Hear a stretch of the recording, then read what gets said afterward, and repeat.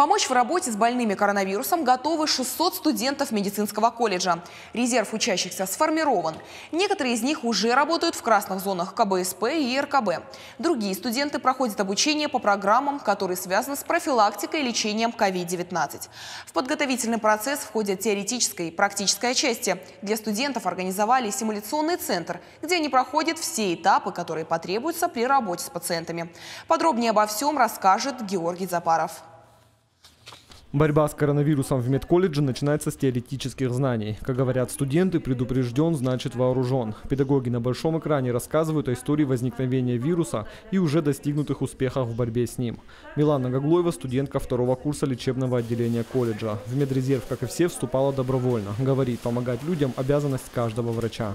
Нас готовят к тому, чтобы мы работали с коронавирусной инфекцией. Нам э, читают лекции, преподаватели, которые знают свое дело. То есть э, сейчас мы активно участвуем там, э, во всех форумах, то есть узнаем информацию.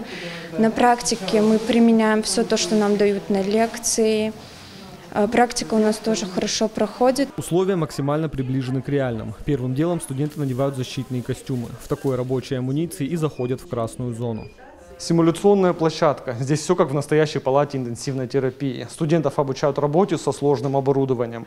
Дефибриллятором, аппаратом искусственной вентиляции легких, инфузоматом. Он регулирует скорость и дозировку поступления лекарств в организм. Есть даже пульсоксиметр для измерения сатурации. Специалисты говорят, после такого обучения студенты могут полноценно работать в любом медучреждении республики. Воздуховод будет мешать корню языка, будет препятствовать западению, и пациенту будет легче дышать. И через аппарат Боброва, через лицевую маточку он будет получать у вас кислород. Студенты начальных курсов при необходимости будут работать младшим медперсоналом, следить за дыхательными путями и кожным покровом больных, отслеживать общую динамику организма. После выхода из имитации красной зоны мазок на коронавирус, обязательная в каждой больнице процедура. 119 студентов колледжа уже привлекались к работе для борьбы с коронавирусом. За это были отмечены руководством республики. Все они получили целевые направления в высшие учебные заведения страны были награждены почетными грамотами. Э, это правительство э, нашей республики почетными грамотами, которые э, студенческий правком наш выделил, Минздрав выделил.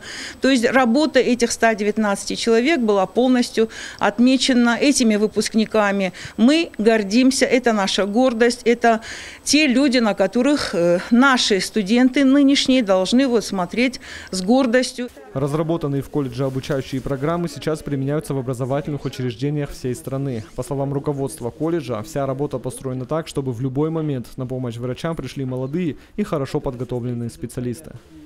Георгий Запаров, Хетак Гапоев, Новости Осетии.